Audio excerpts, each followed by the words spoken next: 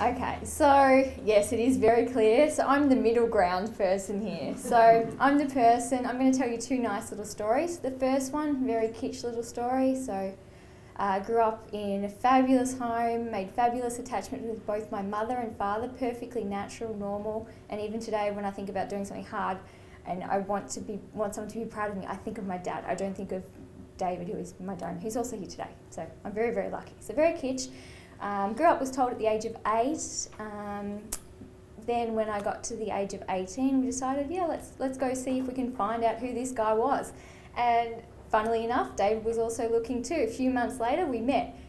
Wow, amazing. Few we realised we lived hmm, a k and a half from each other.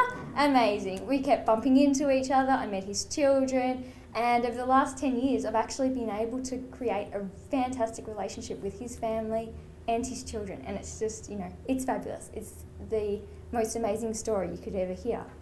And so that's great. Sounds fa- fantastic, right? There's always a but. I'm going to tell you the second story, which is a bit of a story of shame. And this shame is, and I'm sorry if I start to cry because it's still quite raw for me.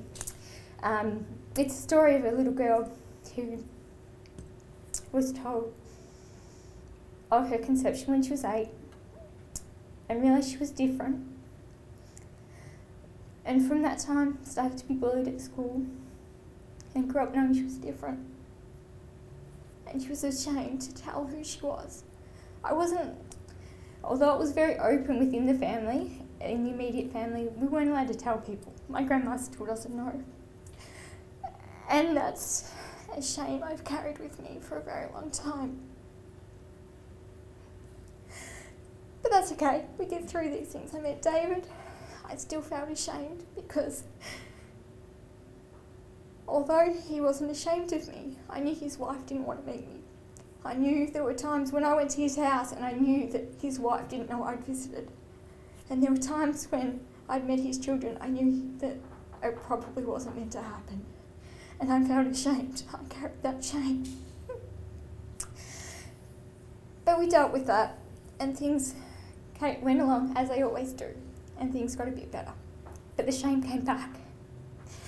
And the shame next came back when it came to me getting married. And of course, I have David, I have three wonderful half siblings as well as my own brother. And of course, I wanted them to all be on the wedding table. Of course, why wouldn't they be? He's my flesh, he's, you know, I'm part of him, he's part of me. But then I get the, the questions from my mum and dad, and it's not their fault, absolutely not. But they weren't told what to do in this situation because how can you know? We were basically the first ones that went through this, so how could they know? But they said, how can how can they be on the table? People will ask questions. Who are these people? They can't just rock up there. All our family and friends will be there. And I, that was when I finally gave up the shame that I'd been holding for so long and realised that it wasn't my shame. It was the shame of the adults around me that I had been carrying as a little girl for so long. And finally, as an adult, I was able to say, That's your problem.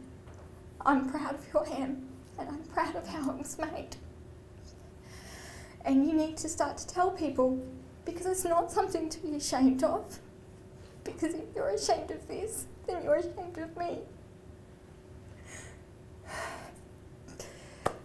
And so that was the day I probably let go of that shame, or not let go of it, but perhaps placed it where it needed to be. And so, what I say to all of you out there, all of you who either have children or thinking of having children or have a bubby on the way, it's like Riley said, it's fine to tell, but make sure you sort your stuff out first. Make sure you realise the implications that you can have. And my temperament was different to my brother's, so how he's dealt with it is different, but I carried the shame. When my parents should have dealt with it beforehand. People should have helped them deal with it. People should have helped them know that it's okay to tell people. You shouldn't be ashamed, no matter who you are. Because, in fact, I'm so proud of my parents for having done this now as an adult. And, like I said, I could not have had a better attachment with my father or my mother. But I guess, yeah, if there's one thing, people do tell everything in this research tick boxes for me. everything about the attachment between father and child, about the mothers being helicopter parents. It's all there. It's exactly like reading my life story. So as soon as Sandy sat down and said, Thank you so much, because I didn't realise people were actually worried about this.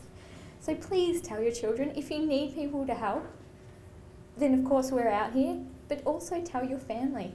Be proud of this. It's not something to be ashamed of. We do grow up and we, we do become fantastic people because we've grown up in a loving, caring family, and that's all any child needs.